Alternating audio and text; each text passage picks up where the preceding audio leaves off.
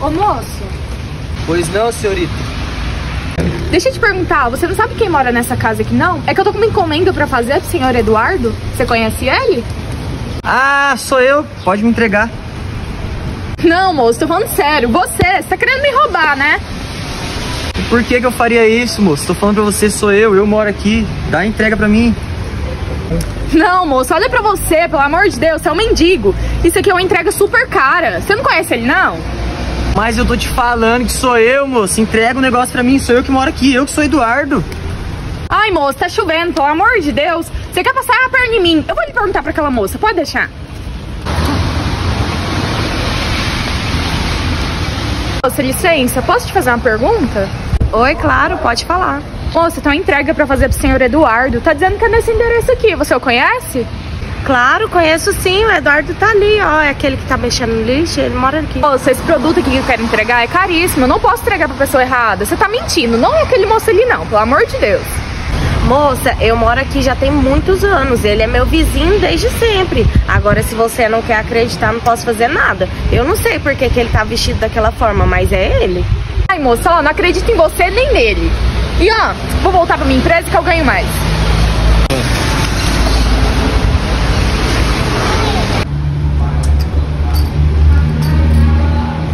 Oi, vizinho. Oi, vizinho, tudo bom? Ô, vizinho, aquela moça tinha uma entrega pra você. Ela não quis te entregar, não? Pois é, eu falei que era eu. Ela ficou me julgando e foi embora. Mas que louca, hein? Só porque você tá vestido de jeito, ela não quis te fazer a entrega? Pois é, vizinho. Hoje em dia as pessoas julgam o livro pela capa, né? Infelizmente. É assim. É, mas não liga pra isso, não. Qualquer coisa eu tô aqui, tá? Tchau, vizinha. Pois é, o mundo que a gente vive. Só porque eu tô vestido dessa maneira, a moça não quis fazer entrega, que é minha. Senhor Michel, preciso conversar com você. Nossa, Alana, calma, por que tá tão alvoroço assim? Senta aqui, vamos conversar. Nossa, Michel, tá chovendo. O endereço que o senhor me passou tava todo errado. Fiquei olhando na rua um tempão. Não achei ninguém. Mas como assim, Alana? Eu te passei o endereço certo. Você tem certeza que você foi no lugar que eu te passei no endereço? Fiz, eu fiz tudo certinho. Eu fui lá, olhei o endereço. Tinha um morador de rua lá e ele falou que era ele, o dono da casa, e que a encomenda era pra ele. Mas eu não acreditei, não. Ele tava todo sujo. Mas assim, você perguntou pra ele se ele, ele era o dono do imóvel, se ele era o destinatário? Você confirmou com ele isso? Sim, ele confirmou várias vezes que era ele. Mas como que eu ia acreditar nele? Todo sujo, fedendo, mexendo em lixo. Mas você perguntou pra alguém que tava lá perto da região? Você não pode julgar o livro apenas pela capa, né? Olha, Alana, eu acho que você está equivocado. E eu vou te falar o seguinte: eu quero que você volta lá e faça essa entrega. Não, não vou voltar lá não. Sério, já me estressei demais. E eu não vou colocar o meu na reta por causa do morador de rua. Olha, Alana, você tem que seguir as regras da empresa. E se você não for, infelizmente eu vou ter que tomar outras providências. Ai, tá bom, saco.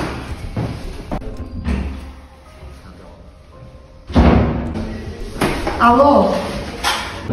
Oi, dona Carla. Sim, a gente tá fazendo entrega hoje. A gente tava na correria aqui com alguns problemas porque faltou alguns entregadores, mas dá pra te atender sim. Mas seria muito bom se a senhora pudesse aguardar alguns minutos, porque tenho que fazer uma entrega aqui, mas assim que eu terminar, eu posso fazer a sua. Enfim, temos vários desses no estoque, daqueles que a senhora sempre pede. Pois é, dona Carla, mas qual produto a senhora quer? Aquele de primeira linha ou de segunda linha? Ah, não, beleza então.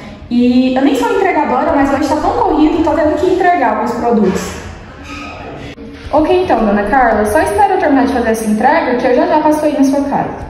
Tchau.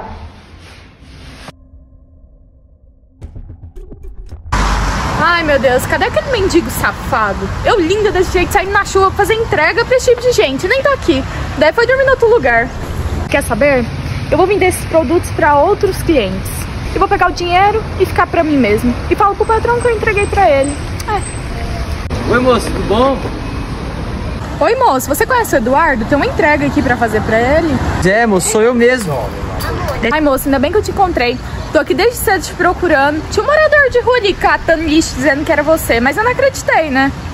Pois é, né, moço? Como que uma roupa muda a opinião das pessoas, né? Era eu que tava ali de mendigo, você não tá reconhecendo, não? Como assim era você? O cara tava todo sujo, imundo. Eu não ia entregar pra ele, né? Então, moço, deixa eu me apresentar pra você. Meu nome é Eduardo Matheus. Eu sou o dono da empresa que você trabalha. Que? Não é possível. Como assim você é o dono da empresa que eu trabalho? É, moço, sou o dono da empresa que você trabalha. Eu tava fazendo um teste social com os meus funcionários. E você, pelo visto, foi reprovada, né? Mas como assim? Isso é um absurdo. Eu sou vendedora naquela empresa há anos. E eu ainda faço entrega às vezes. Eu sou a melhor de lá. Você só não é melhor em tratar as pessoas bem, né? Você é ótimo em julgar as pessoas, pelo visto. Mas isso não existe. Isso é fora de cogitação. Como que eu ia entregar um produto para um morador de rua? Que tipo de teste é esse? Isso é um teste de humildade, né? Coisa que você não tem. E ó, pode ir pra sua casa que você tá demitido. Como assim, demitida? Não é justo você fazer isso comigo. E os meus resultados na empresa? Eu ajudo essa empresa há anos. Ajudava. Os seus méritos pode guardar pra você. E você pode se retirar da minha empresa que a gente não trabalha com pessoa desumilde e muito menos com pessoa que julga as outras pessoas só pela roupa, pela vestimenta. Quer saber? Isso não serve pra mim. Eu que presto demissão dessa empresa. Ah, essa empresinha de quinta categoria não tá na minha altura. Acho algo bem melhor que isso. Mas e você? O que faria no meu lugar? Você demitiria ela também?